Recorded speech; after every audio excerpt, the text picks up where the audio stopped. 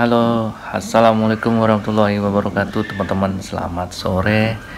Nah, video aku kali ini, teman-teman, aku buat videonya di rumah aja ya, karena aku uh, nanti malam harus aktivitas, teman-teman. Jadi harus banyak istirahat karena sekarang kan lagi bulan puasa, jadi memang harus simpan tenaga untuk nanti malam karena aku mau pergi, teman-teman uh, jadi teman-teman video aku kali ini teman-teman uh, ini ya di bulan puasa teman-teman mungkin sering uh, ngelihat ya di, apalagi di kota-kota seluruh Indonesia mungkin di setiap daerah itu uh, banyak bocil-bocil uh, ya bocil-bocil yang uh, lagi cari apa tuh jati diri itu balap liar gitu. Jadi teman-teman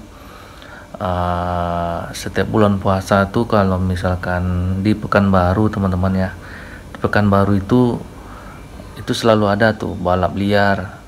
Kalau nggak subuh sore. Nah apalagi tuh setiap hari Sabtu tuh balap liar tuh sering diadain ya kalau kalau yang kulihat di Pekanbaru tuh di uh, Stadion Utama Riau. Nah, jadi posisinya itu di dalam stadion teman-teman ya. Pas masuk ke jalan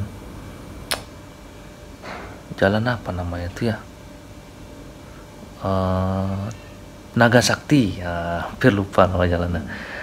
Tapi kalau misalkan balap liarnya subuh atau menjelang pagi teman-teman ya kalau anak-anak bilang asma, asmara subuh asbuh ya.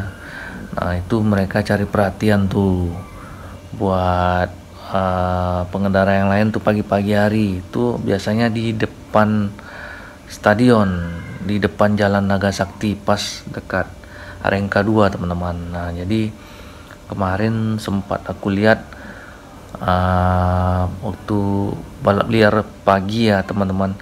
Itu oknum polisi itu sempat men mencegah ya teman-teman. Tuh melempari balap-balap liar tuh pakai kayu teman-teman. Tapi nggak kena kayaknya tapi nggak tahu lah.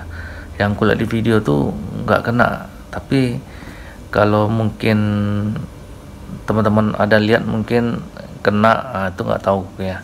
Nah jadi intinya teman-teman uh, buat teman-teman yang hobi jalan-jalan subuh kalau bisa kalau nggak penting-penting amat nggak usah lah yang nonton balap liar kayak gitu. Jadi aku lihat tuh banyak yang nonton balap liar teman-teman.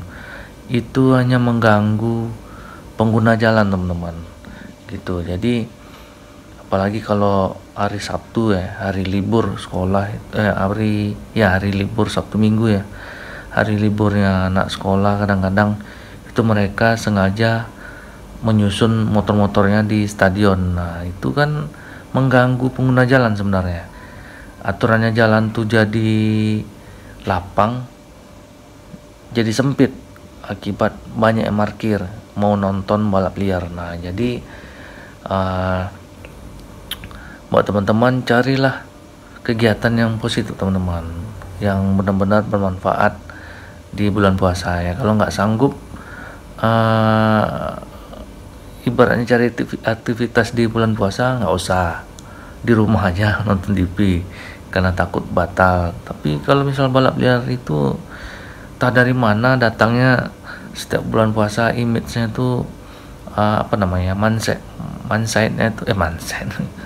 Uh, pemikirannya tuh kalau bulan puasa tuh harus balap liar itu gimana ya aku bilang sama kalian nih yang balap-balap liar nih kalau mau cari perhatian balap liar tuh nggak ada keren-kerennya. Kalian kalau mau balap liar ikutin event. Gitu. Kalau balap liar itu sangat mengganggu. Aku pernah waktu itu lewat stadion ya. Lewat stadion sama keluarga. Itu benar-benar mengganggu ya. Sempat dihalang-halangi uh, mobil aku kendaraan aku itu kayak ya cari perhatian lah. Uh, dikiranya hebat gitu kan. Balap liar wah cari perhatian. Apalagi uh, dia jomblo kan cari perhatian sama cewek. Cewek itu kadang-kadang kan uh, apa namanya parkir ya di tepi-tepi jalan nonton. Eh tambah mengkek lah yang balap liarnya. Tambah menjadi-jadi dia. Nah itu yang itu yang merusak uh, jalanan umum tuh pengguna jalan jadi resah jadi takut karena ada banyak kejadian uh, yang balap liar tuh melanggar pengguna lalu lintas yang lain. Nah, kayak waktu tuh aku diadang-adangnya ya bukan aku nggak bisa ini ya kemarin waktu itu bawa keluarga jadi ya udahlah selagi nggak nyenggol kan paksa biarin aja gitu. Nah jadi nah, teman-teman uh, kemarin uh, tanggal berapa tuh ya? Aku pun lupa. Uh, bentar ya aku ada uh, datanya. Nah Satlantas Polresta Pekanbaru. Uh, Satuan Lalu Lintas Satlantas uh, Polresta Pekanbaru mengamankan. Nah 120 sepeda motor Us, mantap nih ya dengan knalpot brong dan terindikasi terlibat balap liar ratusan kendaraan roda 2 diamankan saat polisi melakukan razia. Nah, itu kejadiannya hari Sabtu, teman-teman. Hari Sabtu tanggal 16 Maret. Nah, hari Minggu dini hari uh, dan uh, sore hari, teman-teman. Razia ini dilakukan di beberapa lokasi rawan aksi balap liar seperti nah jalannya itu di Ponorogo, Jalan Sudirman MTQ.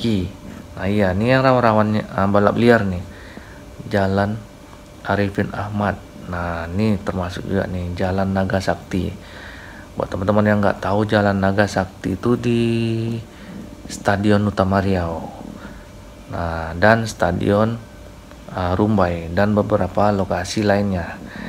Nah kasat nah, kata kasat lantas nih teman-teman uh, Kompol Alvin Agung Wibawa. Uh, beliau bilang bahwa seluruh sepeda motor yang diamankan ya yang diamankan uh, dalam razia ini akan dikenakan tilang dan diamankan di Satlantas Polresta Pekanbaru teman-teman. Untuk pengendara kata beliau nih kami berikan edukasi dan selanjutnya kendaraan diamankan seluruhnya uh, di Satlantas Polresta Pekanbaru dan uh, dilakukan penindakan tilang hingga seusai lebaran. Nah jadi teman-teman Polresta Pekanbaru uh, Kompol Alvin Agung Wibawa bilang bagi yang tertangkap balap liar motornya akan diamankan sampai lebaran. Nah, nyahok. Nggak bisa lebaran bawa motor kan? Nah ini mantap nih. Memang keren nih polisi Polresta Pekanbaru ya. Nah, untuk pengendara apa uh, buat yang katanya uh, semua yang balap liar akan diratakan sama uh, Polresta Pekanbaru. Kendaraannya diamankan, ditilang sampai Lebaran, habis Lebaran. Nah, rasain Lebaran nggak bawa motor kan. Nah, jadi hari Sabtu kemarin teman-teman uh, itu uh, aku ngelihat videonya polisi-polisi uh, banyak 120 motor uh, diringkus ditangkap nah sebagian itu tuh hasil totalnya ya semuanya nah jadi videonya tuh ada hari Sabtu juga itu beberapa motor juga tertangkap sama polisi karena balap liar di Stadion Utama Riau. Nah, ini dia videonya. Hasil nah, ini penangkapan hari ini. Ini beberapa motor yang sudah uh, tertangkap oleh bapak-bapak polisi. Iya, nah, seperti inilah. Nah, ya, kan kalian ketangkap motornya. Nah, mantap buat uh, bapak polisi yang sudah menindak langsung dan bukan sampai di sini ya teman-teman polisi Pekanbaru juga memang fokus untuk membubarkan balap-balap liar dan menangkap pelaku-pelaku balap liar. Memang sampai ke akar-akarnya. Uh mantap. Karena memang mengganggu teman-teman. Kadang ibu-ibu bawa motor tuh jadi takut. Nah itu kan sama kayak apa ya? Uh, pidana itu sebenarnya. Merugikan orang lain. Merugikan pengguna uh, hak hak orang lain di jalan. Pengguna kendaraan yang lagi menggunakan jalan uh, yang dilintasinya. Diganggu sama pelaku-pelaku balap motor yang tidak bertanggung jawab. Nah jadi seperti itu. Ya videonya udah kalian simak seperti itu ya. Uh, jadi teman-teman uh, kalau misal berkendara uh, sesuai dengan berlaku aja ya. Uh, peraturan peraturan berlaku. Nah karena kenapa aku bilang gitu? Karena aku salah satu uh, pengendara motor juga ya yang dulunya pernah terjatuh gara-gara motor brong-brong. Nah, maksudnya tuh motor brong-brong yang kenal pot brong-brong itu waktu itu pernah ngebut di jalan Arifin pas aku di belakang itu copot knalpotnya knalpot yang brong-brongnya itu dan terlindas sama aku. Akhirnya aku terjatuh terseret satu meter. Tangannya tangan aku ini jatuh duluan terseret satu meter. Dan beberapa detik aku nggak sadar ya. Itu sempat nggak sadar karena ngeblank. Nah itu waktu kejadian udah lama. Dan dan dari pengalaman aku itulah bahwa teman-teman nih penting nih ya nggak helm aja yang dipakai. Kalau aku mungkin nggak pakai helm mungkin kepala aku udah kebentur. Karena aku pakai helm aman. Pakai celana jin aku aman lutut aku jadi ya. Nggak jadi berdarah karena aku pakai channel jin jin tebal dan pakai sepatu. Pakai sepatu dan pakai sarung tangan. Nah sarung tangan aku tuh robek. Itu sarung tangan kulit. Robek karena tergesek aspal. Aku pas tergeret uh, ter apa namanya tuh terplanting lah. Satu meter tuh aku masih sadar. Pas jatuh di aspal tuh aku mulai ngeblank nah, ngeblank agak berapa detik lah. Baru banyak dikerumuni warga. Nah jadi seperti itu teman-teman. Nah, lawan arah juga tuh. Kalau teman-teman ketemu lawan arah nggak usah takut. Hadang aja. Usir. Nah, karena mereka memang salah. Dan undang-undangnya juga ada. Kalau lawan arah itu masyarakat berhak untuk menegur menghalau mengusir. Nah bukan menilang ya. Menilang tuh haknya polisi gitu. Oke teman-teman uh, tetap hati-hati di jalan yang ya orang mau lebaran kan uh, mau beli baju lebaran hati-hati safety pakai helm bawa SIM bawa STNK nah karena mau lebaran jangan cari resiko lah. Nanti jatuh nggak jadi lebaran ya kan? Nah jadi teman-teman tetap hati-hati jangan bawa barang eh jangan bawa barang bawaan yang berharga. Kalau misalnya kalian mau belanja beli baju lebaran. Tetap hati-hati. Terima kasih teman-teman. Aku dan dulu videonya. Jangan lupa subscribe like comment and share channel youtube Hari ini teman-teman. Terima kasih teman-teman. Assalamualaikum warahmatullahi wabarakatuh